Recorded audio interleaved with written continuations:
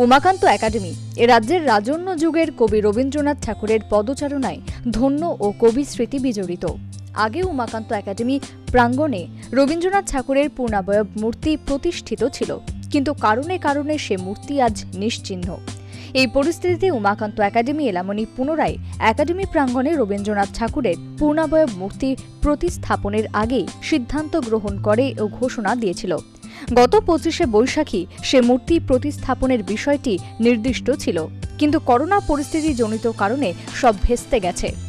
এক্ষেত্রে দুই বিধায়ক আশিস সাহা ও সুরজিৎ দত্ত তাদের বিধায়ক এলাকা উন্নয়নের তহবিল থেকে আর্থিক সহায়তা প্রদানের প্রতিশ্রুতিও দিয়েছিলেন।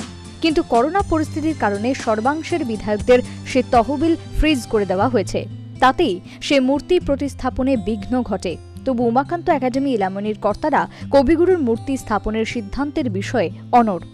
এই অবস্থায় মূর্তি তৈরি ও সংশ্লিষ্ট বেদি নির্মাণের অর্থ সংগ্রহের ব্যাপারে একাডেমির এলামনি কর্তারা সমস্ত প্রাক্তনীদের কাছে আর্থিক অনুদান প্রদানের আহ্বান জানালেন।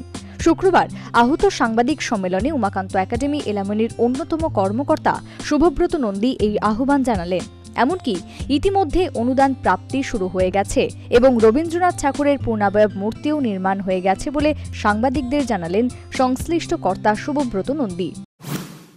এবং আমরা আপনাদের মাধ্যমে আমাদের প্রাক্তনীদের কাছে এই আবেদন রাখতে চাই যে আসুন আমাদের এই যে উদ্যোগ, এই উদ্যোগে আপনারাও সামিল হন এবং আমাদেরকে আর্থিক যে যতটা সাহায্য পারে করুন, যাতে করে আমরা এই কাজে অলরেডি হাত দিয়েছি, এই কাজটি যাতে আমরা সুন্দরভাবে করতে পারি। কেননা, আমি ইতিমধ্যে আপনাদের বলেছি যে এই করোনা অতিমারির কারণে আমাদের স্যাংশন অ্যামাউন্ট যেটা দুজন মাননীয় বিধায়ক আমাদের দিয়েছিলেন, সেটা ফ্রিজ হয়ে গেছে, সেটা আমরা পাচ্ছি না।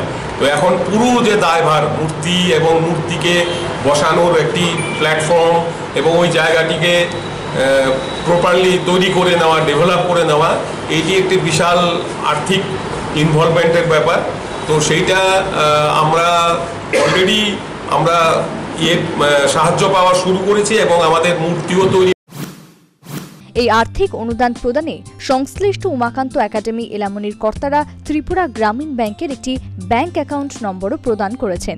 নম্বরটি হল eight double zero one zero one two five double nine three double two এবং IFS code number UTGB I O R আর খুব শীঘ্রই রবীন্দ্রনাথ ঠাকুরের এই পূর্ণাবয়ব মূর্তি কলকাতা থেকে আগরতলায় পৌঁছে যাবে বলেও কর্তারা জানিয়েছেন।